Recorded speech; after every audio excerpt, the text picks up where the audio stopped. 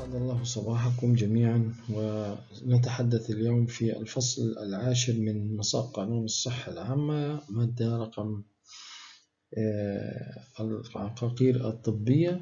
هذا الفصل يختص بالأدوية والعقاقير الطبية المتداولة في الأراضي الفلسطينية طبقا لقانون الصحة العامة رقم 20 لسنة 2004 مقدمة علم العقاقير يسمى بالإنجليزية فارماكوكنوزي فارماكوكنيزي وهو العلم الذي يهتم بدراسة الأدوية الطبية اللي هي تسمى العقاقير المشتقة من النباتات والمصادر الطبيعية ضمن العقاقير أي النباتات الطبية.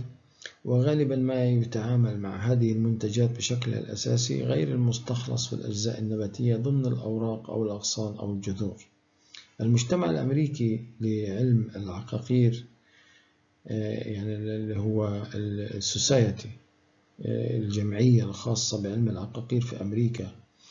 يعرف علم العقاقير على أنه العلم الذي يهتم بدراسة الخصائص الفيزيائية والكيميائية والحيوية اللي هي البيولوجية للأدوية والمواد والمكونات التي تدخل في صناعة الأدوية ذات المنشأ الطبيعي بالإضافة إلى عمليات البحث والتفتيش عن أدوية جديدة من المصادر الطبيعية أو النباتات هذا التعريف هو تعريف المجتمع الأمريكي لعلم العقاقير اللي هي الجمعية الخاصة بعلم العقاقير في أمريكا Pharmacognosy Society United States of America. كما أنه يعرف بالعلم الذي يهتم بدراسة الأدوية الخام أيضا علم العقاقير يسمى العلم الذي يهتم بدراسة الأدوية الخام. مادة 65 في القانون التداول في العقاقير المسجلة. يجب أن يكون العقار الطبي كلها جميعها المتداولة في فلسطين مسجلة في الدستور الدوائي المعتمد من وزارة الصحة ووفق نظام تسجيل موحد. مادة 66 العقاقير التي تستوجب وصفة طبية لصرفها يحذر على أي مؤسسة صحية أو صيدلية سواء كانت خاصة أو صيدلية عامة في داخل مستشفى صرف أي عقار طبي التي تستوجب الوصفات الطبية إلا بموجب هذه الوصفة الطبية التي تصدر من الطبيب ويحدد ذلك بنظام. يعني في نظام لصرف الروشتات. الروشتات بتنصرف إلا إذا عليها ختم الطبيب. وعشان الطبيب يكتب روشتة لازم يكون هذا العلاج يحتاج إلى روشتة طبية وعشان هذا العلاج يصرف لازم الروشتة الطبية تكون مرفقة مع المريض. مادة 67 حظر تداول العقاقير المنتهية الصلاحية. ممنوع بيع أو شراء أو صرف أو استخدام أو تناول أو تداول أي عقار طبي يكون منتهي الصلاحية وفقا للتاريخ المدون والمطبوع على الدواء. يعني بعد ما ينتهي العقار يتم التخلص منه. مادة 68 العقاقير الغير صالحة للاستخدام.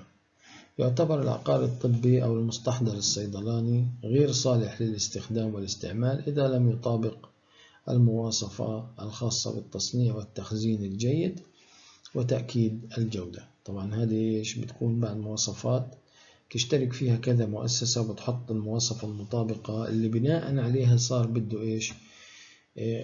يكون صالح للاستعمال لأنه هنا مادة نفي بإثبات يعتبر العقار الطبي أو المستحضر الصيدلاني غير صالح للاستخدام إلا إذا إلا إذا بصير صالح للاستخدام إذا طابق المواصفة. يعني لا يستطيع أي أحد أن يجزم بأن المستحضر الطبي أو العقار هذا الصيدلاني غير صالح بالاستخدام إلا إذا لم يطابق المواصفة والتخزين الجيد وتأكيد الجودة. يعني إذا عملنا له تحليل ولقيناه مش مطابق للمواصفة يعتبر هذا العقار غير صالح للاستخدام البشري ويتم سحبه من السوق.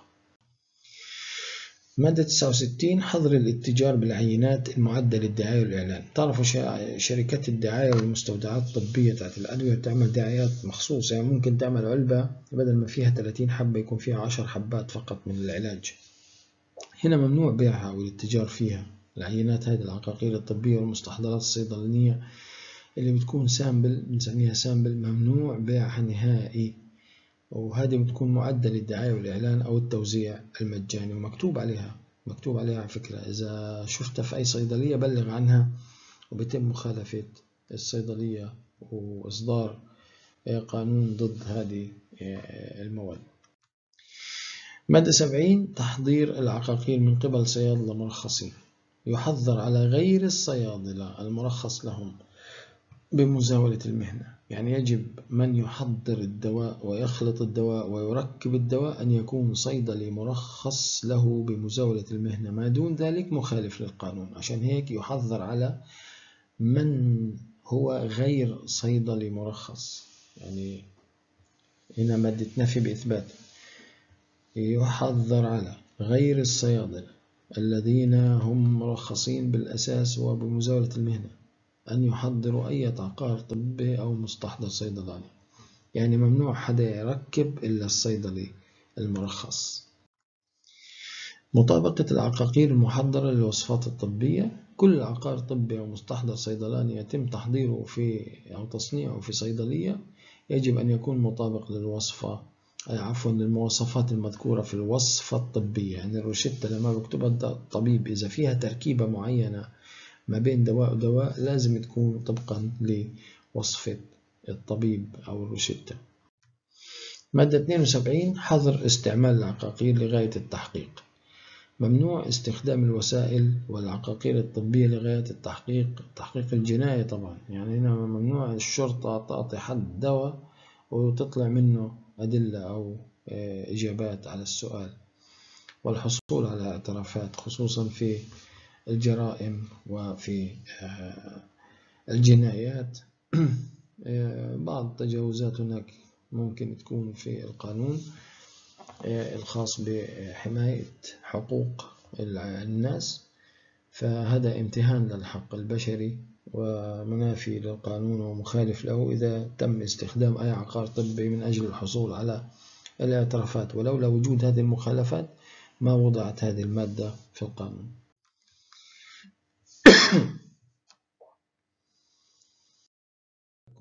شكرا لكم على حسن الاستماع والمشاهدة.